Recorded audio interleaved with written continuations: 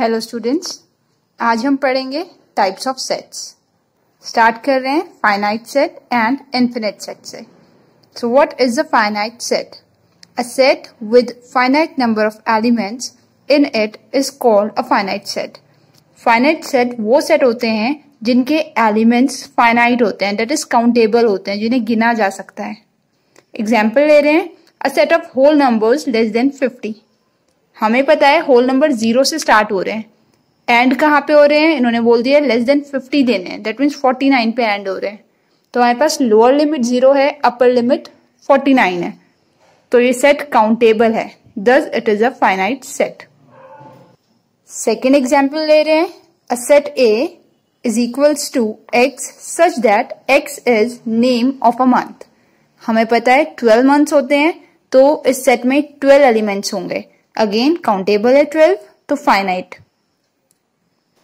next is infinite set a set which is not finite is called infinite set uncountable या unlimited elements होने चाहिए इसमें lower limit या upper limit दोनों या दोनों में से कोई भी एक लिमिट अगर अनडिफाइन है, हमें बता नहीं रखा है कि एंड कहाँ पे हो रहा है या स्टार्ट कहाँ से हो रहा है तो सेट इन्फिनिट हो जाता है. एग्ज़ाम्पल लेते हैं a set of multiples of two two के मल्टीपल्स बोले हैं, two, four, six, eight, ten, twelve, ये नहीं बताया कि कितने। इसमें लोअर लिमिट टू है बट अपर लिमिट नहीं है। तो ये इन्फिनिट सेट है। Again set of integers less than three अगर लें तो थ्री अपर लिमिट हो गया। Integers zero positive number and negative number से बनते हैं। तो अपर लिमिट तो थ्री इन्होंने फिक्स कर दिया है क्वेश्चन में बट लोअर लिमिट हमें नहीं पता है कि कहाँ से स्टार्ट हो रहे हैं। दैट मीन्स ये नंबर लाइन के लेफ़्ट साइड में अनकाउंटेबल है। Uncountable thus infinite next we have singleton set और unit set a set which has only one element in it is called a singleton set एक set जिसमें सिर्फ़ एक element होता है। नेम में ही सिंगल यूज़ हो रहा है इस सेट के। तो जिस सेट में सिर्फ़ एक एलिमेंट होता है, वो सिंगल्टन सेट होता है या यूनिट सेट होता है। यूनिट का मतलब भी वन होता है।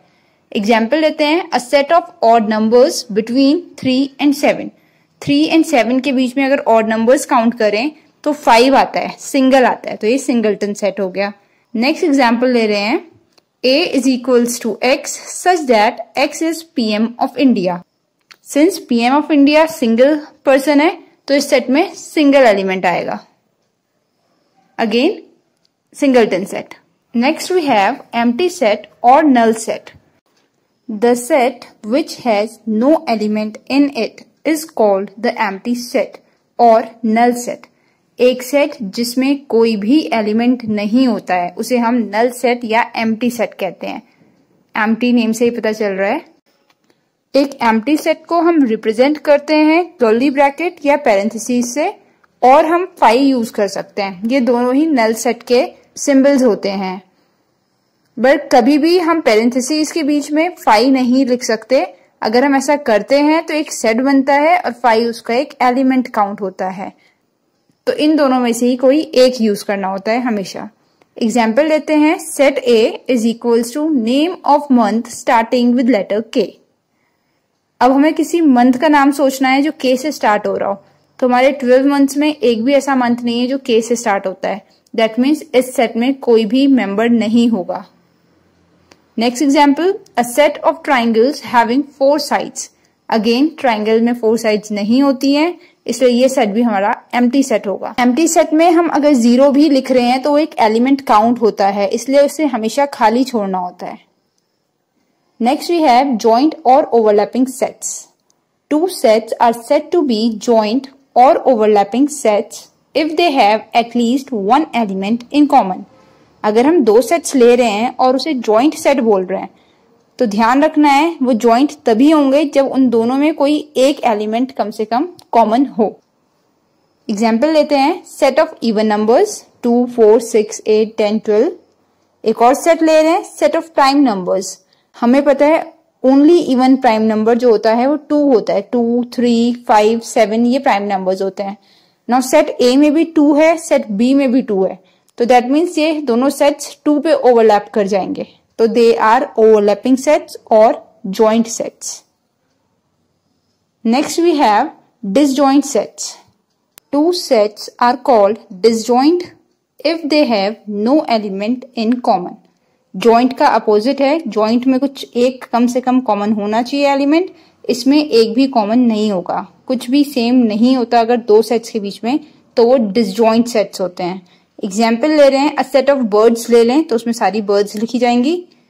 और नेक्स्ट ले लें अ सेट ऑफ़ ट्रीज तो उसमें सारे ट्रीज लिखे जाएँगे। नाउ बर्ड्स एंड ट्रीज में कुछ भी कॉमन नहीं होगा तो ये दोनों सेट्स डिसजॉइंट सेट्स हैं। Now we have equivalent set two sets are said to be equivalent if they contain same number of elements. Or we can say if their cardinal number is same. दो sets equivalent तब होते हैं जब उनका cardinal number same होता है। उनके अंदर जो एलिमेंट्स होते हैं, वो अगर हम काउंट करें तो वो सेम होने चाहिए दोनों में। इक्विवेलेंट सेट को हम रिप्रेजेंट करते हैं डबल साइडेड एरो से। अगर हम लिख रहे हैं A and B are equivalent तो हमें मार्क ये यूज़ करना पड़ेगा।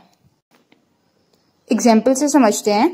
दो सेट्स में ले रही हूँ। फ़र्स्ट ले रही हूँ ए उसमें एलिमेंट्स हैं ए बी सी कितने एलिमेंट्स हुए? थ्री एलिमेंट्स ये थ्री मेंबर्स एक और सेट में ले रही हूँ सेट बी उसमें एलिमेंट्स हैं वन टू थ्री तो उसमें भी कितने एलिमेंट्स हैं हमारे पास? Three elements so cardinal number of A three है। Cardinal number of B again three है। जब दोनों का कार्डिनल नंबर सेम होता है तो सेट इक्विवेलेंट होते हैं। Further we have equal sets two sets are equal if both the sets have same elements. That means, अगर किन्हीं दो सेट्स में एलिमेंट सेम है आइडेंटिकल एलिमेंट्स होने चाहिए। अगर एक में ए है तो दूसरे में भी ए ही होना चाहिए। सो अगर दो सेट्स में एलिमेंट सेम होते हैं तो वो इक्वल सेट्स होते हैं। इक्वल सेट्स को रिप्रेजेंट करना बहुत इजी है। नॉर्मल जैसे हम इक्वल साइन यूज़ करते हैं, वो यूज़ करेंगे इसमें। ए इक्वल्स टू बी एक सेट ए ले रहे हैं। Set of letters of the word follow एक सेट बी ले रहे हैं which is set of letters of the word flow अब मैं ए को रोस्टर फॉर्म में लिख रही हूँ। तो एलिमेंट्स इसके लिखेंगे। F O L L repeat हो रहा है। ओ रिपीट हो रहा है। डब्ल्यू तो F O L W set B लिख रही हूँ रोस्टर फॉर्म में। Flow F L O W अगर हम देखें तो दोनों सेट्स ए एंड बी के एलिमेंट्स सेम हैं। दोनों में एफ़ एल ओ डब्ल्यू ही यूज़ किया है। So they are equal sets further ये याद रखना बहुत ज़रूरी है। Equal sets are always equivalent since their elements are same equal sets अगर होते हैं तो वो हमेशा इक्विवेलेंट होते हैं। अगर मैं दो सेट्स ले रही हूँ A and B elements A में है टू फोर सिक्स एट यानी फोर एलिमेंट्स बी में ले रही हूँ eight six four two again four elements A and B दोनों सेट्स के एलिमेंट सेम हैं, इसलिए उनका कार्डिनल नंबर भी सेम हो जाएगा। और जिन सेट्स का कार्डिनल नंबर सेम होता है वो इक्वेलेंट होते हैं। ऐसे याद रखना है इक्वल का कार्डिनल नंबर सेम होता है और जिनका कार्डिनल नंबर सेम होता है वो इक्वेलेंट होते हैं। So equal sets are equivalent again अगर हम इसका रिवर्स पढ़ें दो सेट्स हैं ए एंड बी उनका कार्डिनल नंबर सेम है तो वो इक्वेलेंट हो गए। बट अगर मैं सेट ए लिखूं two four six eight cardinal number four B लिख रही हूँ A B C D again cardinal number four तो इक्विवेलेंट तो है। बट इक्वल नहीं है, क्योंकि एलिमेंट्स दोनों के डिफर कर रहे हैं। सो so, ये याद रखना है इक्वल सेट्स इक्विवेलेंट होते हैं बट इसका रिवर्स हमेशा ट्रू हो, ये ज़रूरी नहीं है। नेक्स्ट वीडियो में Selina class eight chapter sets की सेकेंड एक्सरसाइज सिक्स बी का सोल्यूशन में करने वाली हूँ। वीडियो अगर अच्छी लगे, समझ आए तो लाइक करनी है शेयर करनी है एंड चैनल सब्सक्राइब करना है। Thanks for watching